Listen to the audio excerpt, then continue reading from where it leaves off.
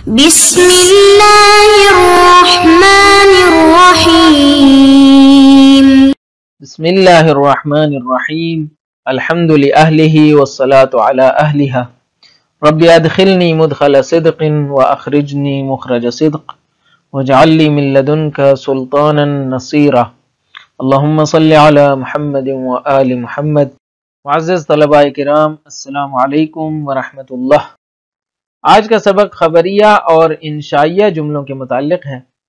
علم النحو میں آپ جملہ خبری اور جملہ انشائیہ کی تعریف پڑھ چکے ہیں۔ علم الاصول میں تھوڑا مزید دقیق انداز میں ان دونوں کو زیر بحث لایا گیا ہے اور اس حوالے سے ان کی تعریف اور کچھ نکات کو بیان کیا گیا ہے۔ تو اس حوالے سے دیکھتے ہیں آج کا سبق۔ سب سے پہلے چلتے ہیں قرآت متن کی جانب۔ الجملة الخبرية والجملة الإنشائية. تقسم الجملة عادة إلى خبرية وإنشائية. ونحن في حياتنا الاعتيادية نحس بالفرق بينهما. فأنت حين تتحدث عن بيعك للكتاب بالأمس وتقول بعت الكتاب بدينار ترى أن الجملة تختلف بصورة أساسية عنها حين تريد أن تعقد الصفقة مع المشتري فعلا فتقول له بعت الكتاب بدينار.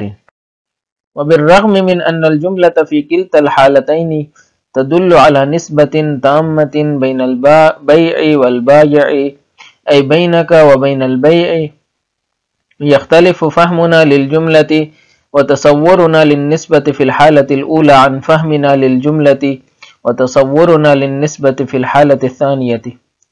فالمتكلم حين يقول في حالة الإخبار بعت الكتاب بدينار يتصور النسبة بما هي حقيقة واقعة لا يملك من أمرها فعلا شيئا إلا أن يخبر عنها إذا أراد وأما حين يقول في حالة البيع بعت الكتاب بدينار فهو يتصور النسبة لا بما هي حقيقة واقعة مفروغ عنها. بل يتصورها بوصفها نسبة يراد تحقيقها.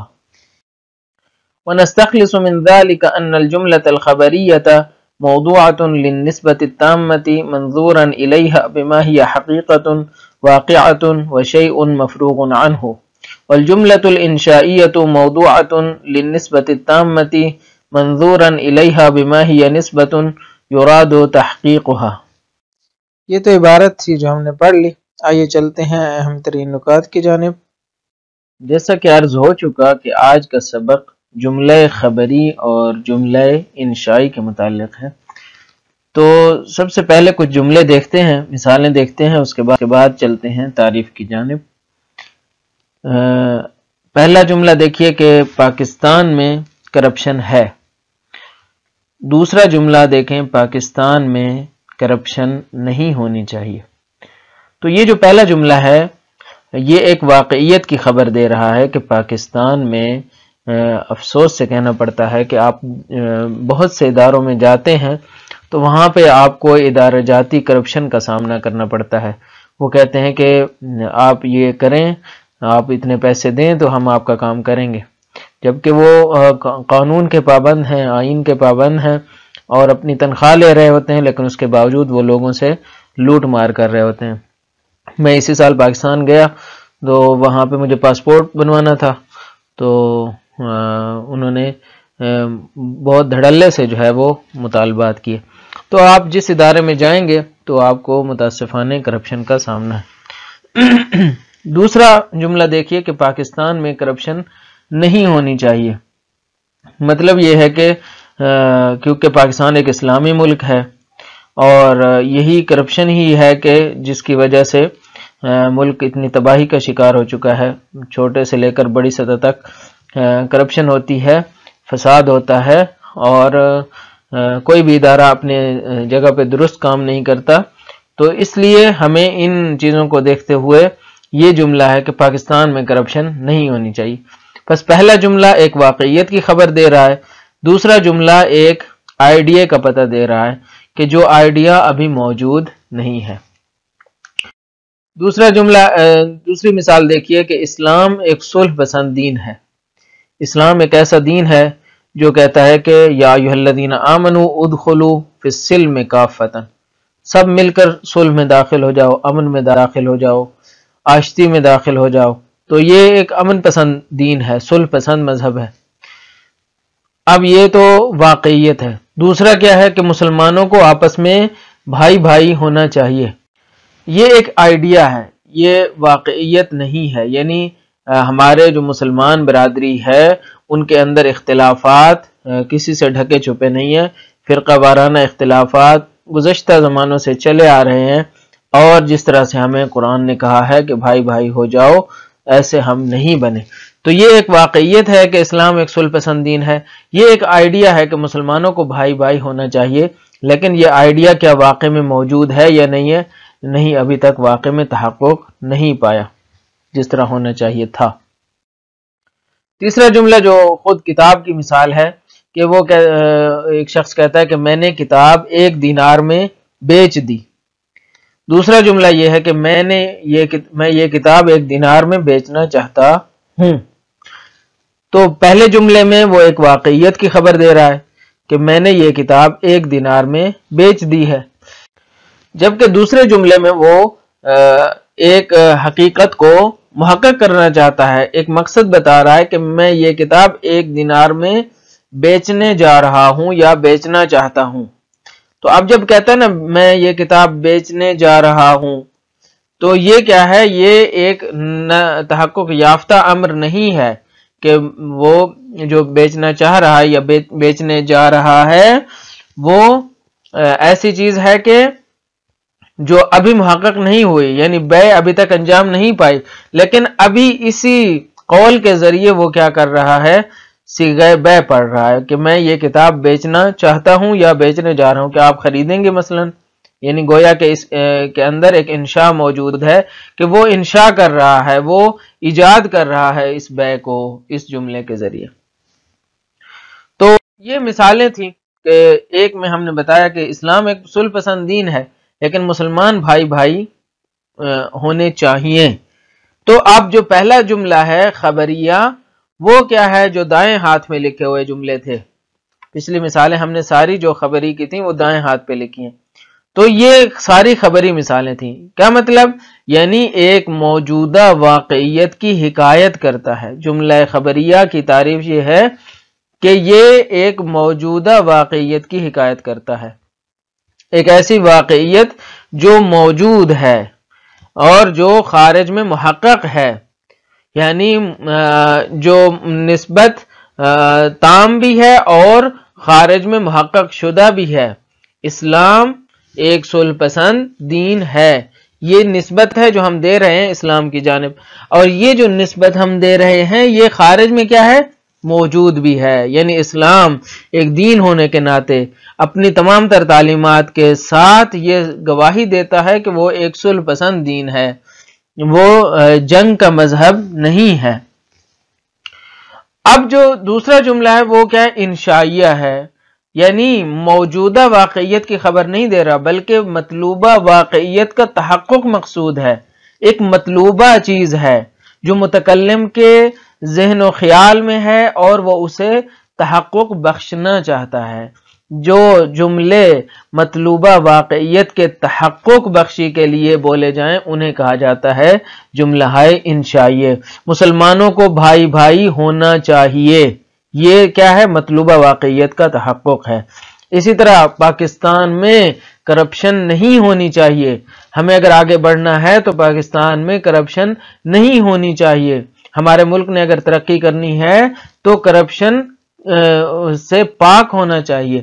تو یہ کیا ہے؟ مطلوبہ واقعیت کا تحقق ہے۔ موجودہ واقعیت کی حکایت نہیں ہے، کیونکہ موجودہ واقعیات افسوس سے کہنا پڑتا ہے کہ اس کے بالکل برعکس ہیں۔ اسی طرح کتاب کے مطابق جو جملے تھے کہ میں یہ کتاب، میں نے یہ کتاب بیچ دی۔ تو یہ کیا ہے؟ موجودہ واقعیت کی حکایت ہے۔ اور اگر وہ کہتا ہے میں یہ کتاب بیچنا چاہتا ہوں یا بیچنے جا رہا ہوں، یہ کیا ہے؟ مطلوبہ واقعیت ہے کہ اس کا جو ارادہ ہے وہ یہ ہے کہ وہ اسے بیچ دے۔ اس کے لیے جو طلب ہے وہ یہ ہے کہ وہ اسے بیچنا چاہتا ہے۔ تو بس یہ ہوئی مطلوبہ واقعیت۔ یہ تو تھی ایک سادہ زبان جو ہم نے بول دی جسے ہم کہتے ہیں نا جٹاکی زبان۔ اب ہم اسی کو، اسی تعریف کو تھوڑا فنی انداز میں سمجھنے کی کوشش کرتے ہیں کہ جملہ خبریہ کہتے ہیں ان نسبت التامت بماہی حقیقت واقع جملہ خبریہ ایک نسبت تامہ ہوتی ہے۔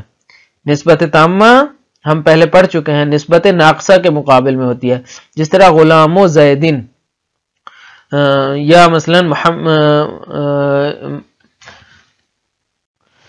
یا کتاب و علی یا مصحف و عبداللہ بن مسعود، یہ سارے جو مضاف مضاف علیہ میں نسبت پائی جاتی ہے یہ نسبت ناقصہ ہوتی ہے تو نسبت تامہ وہ ہوتی ہے کہ جس میں خبر اور مبتدا ایک خبر ہوتا ہے، ہوتی ہے اور ایک اس کا مبتدا ہوتا ہے۔ تو یہ کیا ہوتی ہے؟ یا ایک فعل اور فائل ہوتا ہے، یا ایک فعل، فائل اور مفعول ہوتا ہے۔ یہ ساری نسبتیں کیا ہوتی ہیں؟ تام ہوتی ہیں۔ تو نسبت تامہ ہونی چاہیے یعنی ایک جملہ جس پہ سکوت صحیح ہو، جس کے اندر مفہوم موجود ہو۔ اس کے دو طرح سے تحقق ہیں۔ کہتے ہیں، اگر بما ہی حقیقت واقع ایک واقع شدہ حقیقت کے طور پر اگر ایک نسبت تامہ کا ذکر ہو، تو یہ ہوتا ہے خبری۔ انشائی نسبت تامت یوراد و تحقیق ایک ایسی نسبت تامہ کہ جسے تحقق بخشی مقصود ہوتی ہے، مطلوب ہوتی ہے، جس کا، جسے ابھی فعلاً تحقق نہیں حاصل ہوتا، بلکہ اس کو تحقق بخشی مقصود ہوتی ہے، اس کا محقق کرنا مقصود متکلم ہوتا ہے، اس کو کہتے ہیں جملہ انشائیہ۔ تو بس ہم نے آج کے سبق میں دونوں جملوں کی، دونوں اقسام کی تعریف پڑھ لی، جملہ خبری کی بھی اور انشائی کی۔ آئیے چلتے ہیں وضاحت متن کی جانب۔ فرماتے ہیں تو قسم الجملۃ الخبریت والجملۃ الانشائیت جملہ خبری اور جملہ انشائی۔ کیا ہوتے ہیں؟ کہتے ہیں تو قسم الجملۃ عادتا الى خبریت و انشائیت عام طور پہ جملوں کو تقسیم کیا جاتا ہے خبری اور انشائی کی جانب۔ ونحن فی حیاتنا الاعتیادیت نحس بالفرق بینہما ہم اپنی عادی زندگی میں عمومی جو زندگی ہے جو ہم گزار رہے ہیں روز مرہ زندگی، حیاتنا الاعتیادیہ کا محاورہ ترجمہ روز مرہ کی زندگی میں ہم احساس کرتے ہیں، نحس و احساس کرتے ہیں بالفرق بینہما کہ ان دو جملوں کے درمیان فرق موجود ہے۔ جس طرح میں نے مثالیں عرض کر دیں۔ فَأَنْتَ حِينَ تَتَحَدَّثُ عَنْ بَيْئِكَ لِلْكِتَابِ بِالْأَمْسِ وَتَقُولُ بِئْتُ الْكِتَابَ بِدِينَارٍ۔ آپ جب بات کرتے ہیں اپنے کتاب کو بیچنے کے بارے میں بالامس کہ جو آپ نے کل بیچی ہے، وَتَقُول، اور آپ کہتے ہیں بِئْتُ الْكِتَابَ بِدِينَارٍ، میں نے کتاب ایک دینار کے بدلے میں بیچ دی۔ ترا یہ جو آپ بات کرتے ہیں تو ترا ان الجملہ تختلف بصورت اساسیت انہا حین ترید ان تعقدت صفقت مال مشتری تو آپ دیکھتے ہیں کہ یہ جملہ بنیادی طور پر بصورت اساسیہ یعنی بنیادی طور پر مختلف ہوتا ہے۔ انہا ان الجملت یعنی ایک ایسے جملے سے کہ جو آپ بولتے ہیں کب؟ ہی ترید ان تعقد صفقہ۔ جب آپ ایک معاملہ منعقد کرنا چاہتے ہیں، ایک معاملہ انجام دینا چاہتے ہیں مال مشتری مشتری کے ساتھ، خریدار کے ساتھ۔ فعلاً، ابھی یعنی حالین ابھی آپ انجام دینا چاہتے ہیں۔ تو بھی آپ یہی جملہ بولتے ہیں، لیکن اس کا معنی فرق کرتا ہے۔ فتقول لہو آپ اس کو کہتے ہیں بیعت الکتاب بدینار میں نے یہ کتاب ایک دینار میں میں بیچ رہا ہوں یا بیچنا چاہتا ہوں یا بیچنے جا رہا ہوں۔ کیونکہ یہاں پہ خبر، یہ جملہ جو ہے وہ در حقیقت انشائیہ ہے، اگرچہ ماضی کی اس میں ہے۔ لیکن ماضی، یہ ایسا ماضی ہے جو تحقق کے لیے ہے۔ یا یقینی صورت میں تحقق کے لیے ہوتا ہے، یا مثلا انشائی۔ جیسے قرآن میں اب ہے، اذا وقعت الواقعات یہ کیوں ایسا ہوا کہ قرآن نے اذا تقع الواقعہ نہیں کہا؟ کیوں؟ اس لیے کہ یہ واقعات واقعات الواقعہ کیونکہ قیامت یقینی ہے۔ بعضوں کا جو عرب ہیں وہ کیا کرتے ہیں؟ جملہ ماضی کو استعمال کرتے ہیں انشاء کے لیے۔ یعنی بیچنے جا رہا ہے، تب بھی کہے گا بیچو کیوں؟ تاکہ یقینی صورتحال کو بتائے کہ میں نے یہ جو بے واقع انجام دینی ہے، یہ قطعی ہے میری طرف سے۔ اب کوئی اس میں تردید نہیں ہے۔ تو بیت الکتاب بدینارن جب جملہ انشائی بولتے ہیں تو اس کا مطلب یہ ہوتا ہے کہ آپ کتاب بیچنے جا رہے ہیں یعنی میں کتاب بیچنے جا رہا ہوں۔ وبالرغم من ان الجملة في كلتا الحالتين تدل على نسبة تامة بين البيع والبائع اور باوجود اس کے کہ جملہ دونوں صورتوں میں یعنی چاہے ماضی کی صورت ہو، چاہے وہ انشائی صورت ہو، چاہے وہ اخباری صورت ہو، چاہے انشائی کی صورت ہو۔ کہتے ہیں دونوں صورتوں میں جملہ دلالت کرتا ہے ایک نسبت تامہ کے اوپر۔ نسبت تامہ کس کے درمیان؟ بین البیع والبائع بے اور بائع کے درمیان۔ یعنی جب کہتے ہیں بے تو حاد الکتاب تو یہاں پہ بے اور بائے کے درمیان نسبت قائم ہو گئی۔ بین کا و بین البے یعنی آپ جو کہ بائے ہیں اور جو آپ کا معاملہ ہے، اس کے درمیان آپ نے نسبت تامہ ایجاد کر دی ہے۔ یعنی آپ جو کہہ رہے ہیں کہ میں نے یہ کتاب بیچ دی، تو آپ کے اور بے کے درمیان نسبت تام ہے۔ آپ جب کہتے ہیں کہ میں کتاب بیچنا چاہ رہا ہوں تو تب بھی آپ کے اور بے کے درمیان نسبت تام ہے۔ کہتے ہیں برغ میں باوجود اس کے کہ دونوں صورتوں میں نسبت تام ہے، لیکن یختلف فہمنا للجملت۔ اس کے باوجود ہمارا فہم جملے کے بارے میں مختلف ہوتا ہے۔ اور وہ یختلف و تصورنا للنسبت فی الحالت الاولا عن فہمنا للجملت و تصورنا فی الحالت الثانیہ ہمارا جو فہم ہے جملے کے بارے میں اور جو ہمارا تصور ہے نسبت کے بارے میں پہلی حالت میں یعنی اخباری حالت میں، یہ مختلف ہوتا ہے۔ اس فہم سے جو جملہ کے بارے میں ہے اور اس تصور سے جو نسبت کے بارے میں ہے دوسری حالت میں یعنی انشائی حالت میں۔ کیسے مختلف ہوتا ہے؟ وضاحت کرتے ہیں۔ کہتے ہیں فل متکلم حین یقول فی حالت الاخبار بعت الکتاب بدینار۔ جب اخبار کی حالت میں وہ یہ جملہ بولتا ہے کہ میں یہ کتاب بیچ رہا میں نے یہ کتاب بیچ دی بدینار۔ تو یہ تصور نسبت بماہیہ حقیقت واقعہ۔ یہ نسبت کا تصور کرتا ہے ایک واقعی حقیقت کے طور پر، ایک تحقق یافتہ حقیقت کے طور پر۔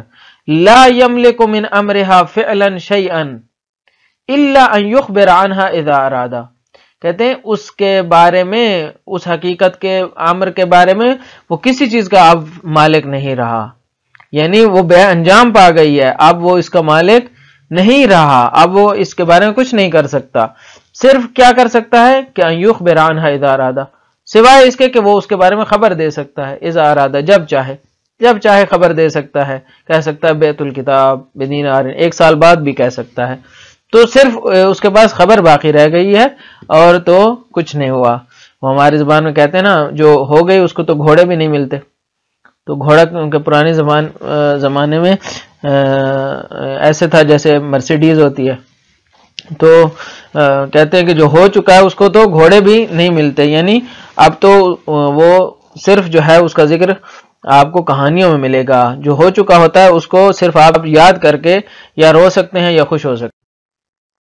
بہرحال، وَأَمَّا حِينَ يَقُولُ فِي حَالَةِ الْبَيْءِ بِئْتُ الْكِتَابَ بِدِينَارٍ، لیکن جب بے کی حالت میں انسان کہتا ہے کہ بیت الکتاب بدینار جب بیچنا چاہ رہا ہے اور کہتا ہے کہ میں یہ کتاب بیچنا چاہتا ہوں دینار کے بدلے میں، فہو یا تصور نسبت لا بما ہی حقیقت واقعات مفروغ عنہا۔